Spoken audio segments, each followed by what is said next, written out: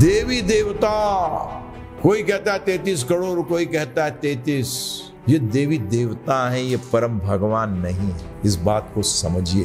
ये क्या है? ये देवी देवता हैं, ये परम भगवान नहीं है।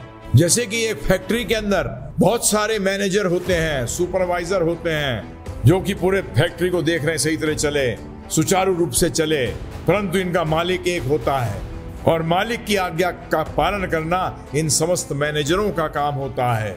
उसी प्रकार इस भौतिक जगत के अंदर देवी देवता हैं जो कि मैनेजर के समान हैं। परम भगवान तो श्री कृष्ण है, श्री राम जी हैं, इन दोनों में कोई भेद नहीं है।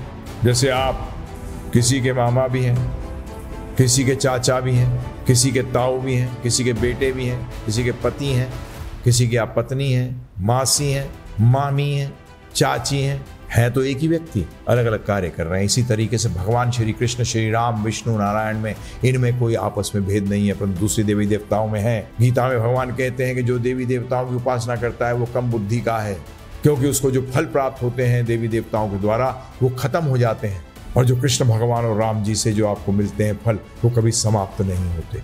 ये ध्यान रखिएगा आप। तो ये सबको, सब एक हैं। ये कौन बोलता है? पता है आपको? काले अक्षर भैंस बराबर। है? पढ़ता है, भेद करना नहीं आता। क्या कहता है, सब ये भैंसे चल रही हैं सब। क्योंकि भैंस भी काली, अक्षर भी काले, इसलिए अक्षर भी क्या? भैंस। समझ गए? इसलिए बोलते हैं, काले अक्षर, भैंस बराबर। सब भैंस मत बनो, है? बुद्धि मिली है, भेद करना सीखो। अरे, तीन, चार, पाँच पिता जैसे हो सकते हैं, परंतु बीस दिन और पिता तो एक होगा, थोड़ी बुद्धि लगाइए। ज़्यादा नहीं बोल रहा मैं लगाने को। अधिक बुद्धि मत लगाने को बोल रहा थोड़ी सी बुद्धि लगाइए। समझ में आया? और भगवत गीता, भागवतम, ये स्पष्ट रूप में जो कि वेदों का सार बताए गए हैं, वेदों का फल बताए गए हैं। आदि शंकराचार्य जी ने कहा, भगवत गीता जो है, सारे वेदों का सारे उसमें स्पष्ट रूप में भगवान ने बताया कि अहम सर्वस्व प्रभु मैं ही समस्त जगतों का स्वामी हूँ। इसलिए ये ग्राम देवता तो और भी नीचे लेवल पे है। इस बात को समझिएगा, तरीका और बताएँगे कि कहाँ आपको और समझ में आ सकता है इसके बारे में। है ना? बताना ना, आध्यात्मिक ज्ञान कहाँ से लोगे? तो अभी तो मैं आपको ट्रेलर दे रहा हूँ, ट्रेलर।